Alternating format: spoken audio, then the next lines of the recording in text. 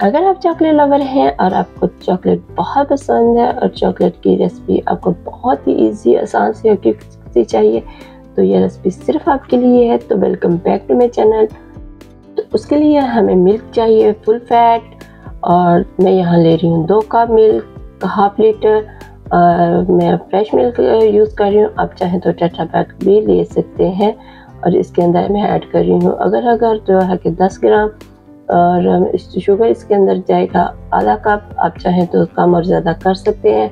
और इसके अंदर मैं डाल रही हूँ cocoa powder two tablespoon है।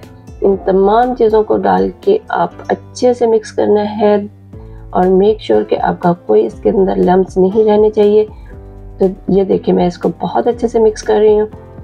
तो इसको अब हम कुक करेंगे तकरीबन दो से तीन तीन मिनट के लिए। फिर इसके अंदर हम डालेंगे चॉकलेट चिप्स, जो कि है हाफ़ कप आप चाहें तो चॉकलेट डार्क चॉकलेट भी यूज़ कर सकते हैं। इसको हम मिक्स करेंगे अच्छे से और मसलसल आपने चम्मच को हिलाते रहना है, ताकि आपकी वो जो रेसिपी है नीचे से लग नहीं जाए।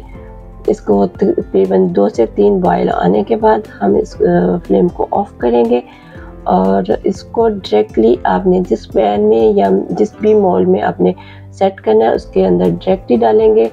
और इसके ऊपर से जो भी लम्स वगैरह हैं, उसको हम ऐसे इस तरह से आप रिमूव कर लें।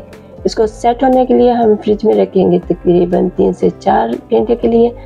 तो ये देखें मैंने फ्रिज में इसको तीन चार घंटे के लिए सेट होने के लिए रख दिया था। तो ये अब सेट हो चुकी है तो इसको करते हैं डी मोल्ड तो इसे सर्व करते हैं तो देखें कितना मज़े का और ख़ूबसूरत सा कलर भी आया है और बहुत ही मज़े की यमी सी रेसिपी झटपट से बनकर तैयार हो जाती है तो उम्मीद है कि आप, आपको ये रेसिपी पसंद आएगी। पसंद आए तो लाइक करें शेयर करें और मेरे चैनल को सब्सक्राइब करें।